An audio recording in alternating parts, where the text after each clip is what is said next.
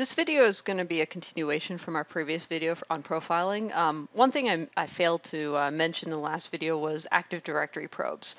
Now this is a somewhat new feature as of uh, 2, ISE 2.1 and it's pretty cool because it does give you a little more options without having to go full posturing.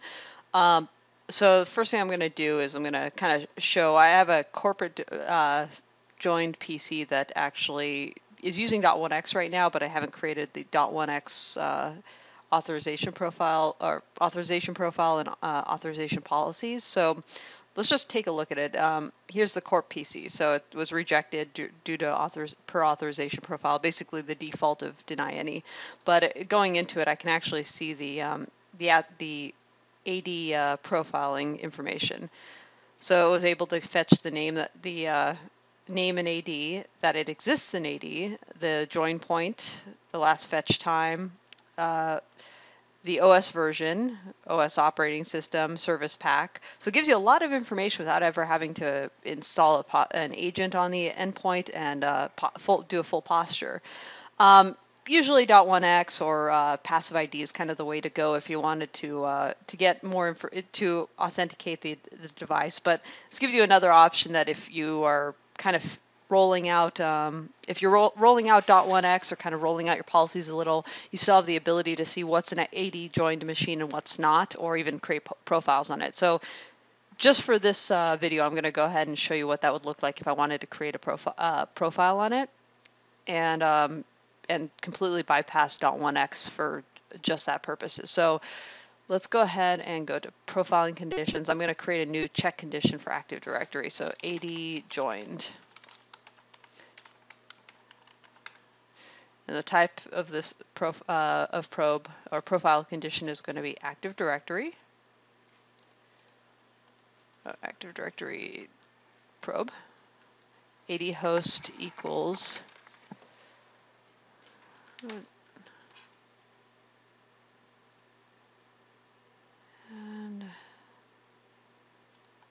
this case, let me go back here really quickly.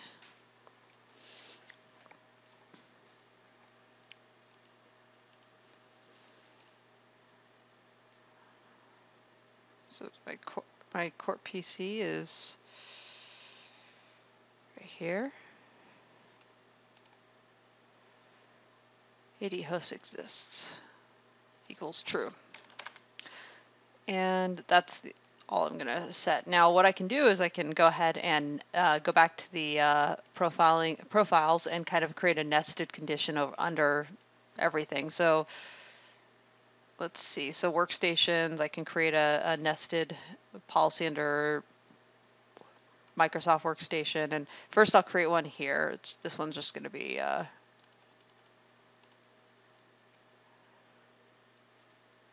add we're going to say it's AD workstation AD joined.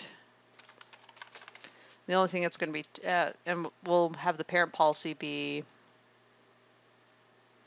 just workstation.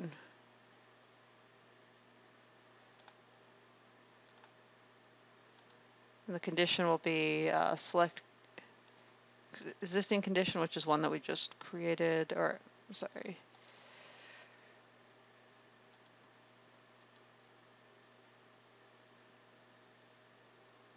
the one we just created, which is AD join.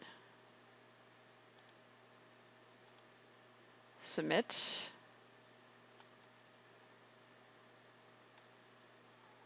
And I can just copy that one and nest it under, if I wanted to get really granular and uh, I can just duplicate this.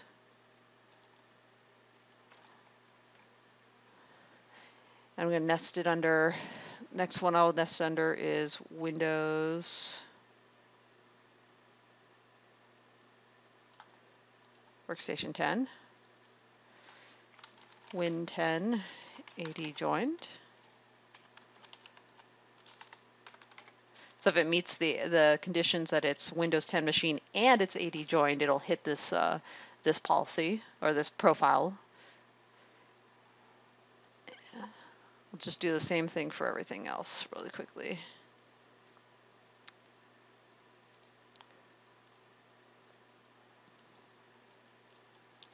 Next is going to be Windows 7, and we'll nest it under Windows 7 workstations. Save.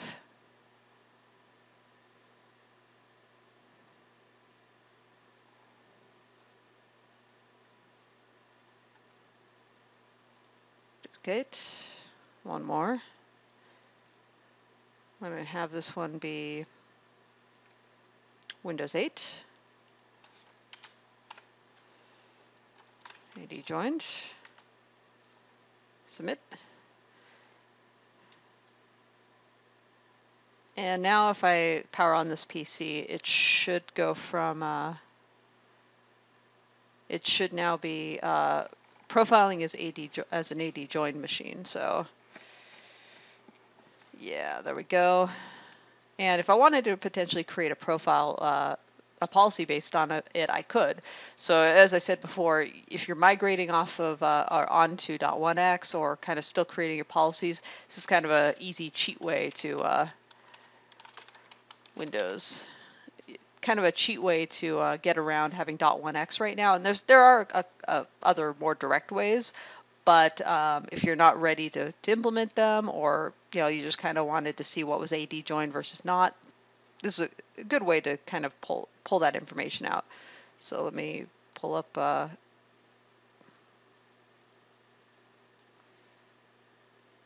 Okay, so I'm just going to go ahead and grab my AD joined profiles. AD joined machines.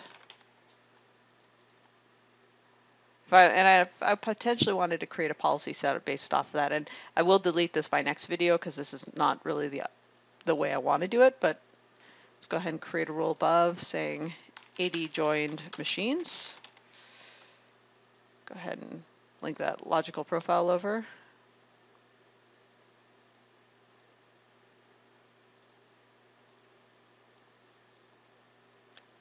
and granted access.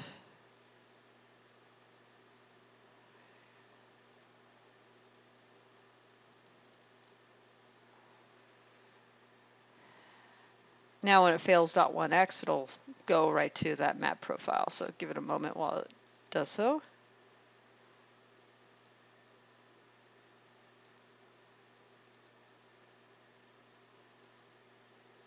The machine came on a little quicker than I would have liked for, uh, so it hit the map rule first, but let me go ahead and re-authenticate it really quickly.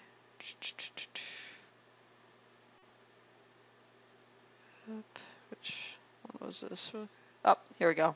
It already hit it.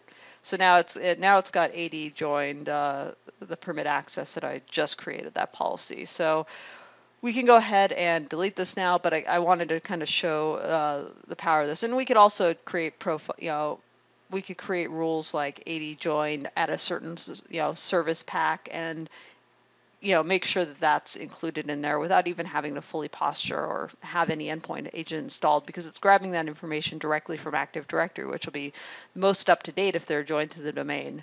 Um, short of actually installing an endpoint agent.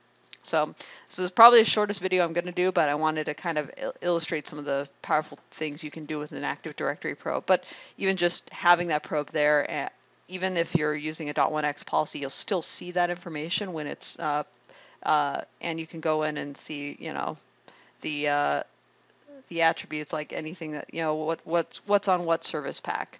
Now, as we go and progress through these videos, we'll have some cooler profiling and posturing rules that we can create that will be showing us all the applications that are on the machine and what's running versus installed.